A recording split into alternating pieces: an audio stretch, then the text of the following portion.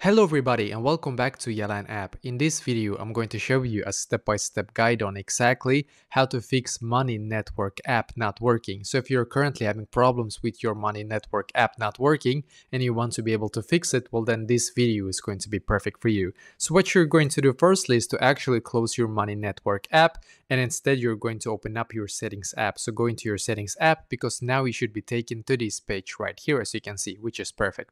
So now on this page, just scroll down down and then what you're going to do on this page is to just click on general. So click on general, scroll down and click on storage in here as you can see. And now you need to wait a couple of seconds for this page right here to completely load. And when it's done, then what we're going to do, we're just going to scroll down and we're going to simply find the Money Network app. And in there, we're going to be able to actually fix this problem. I did this myself, by the way, and it worked for me. So I think it's going to work or hopefully it's going to work for you as well, obviously.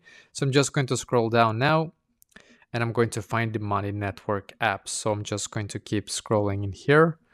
I think it's actually here. Oh, perfectly. As you can see, the app is right here. So I'm just going to click now on the offload app button and then once again click on offload app as you can see and then I'm going to click on the blue button here once again and as you can see it says loading here for my money network app as you can see so basically what you're going to do now is very simple you're going to wait for it to uh, like completely update to the newest version then you're going to go back and hopefully it's going to now be fixed for you I did this myself once again and it worked and I think that when they do release a new version and we don't have it then uh, sometimes it can actually uh, bug the app I guess so that's one of the things that might be the reason why it's not working right now. So try this, go back into the app and hopefully it's now fixed for you as well.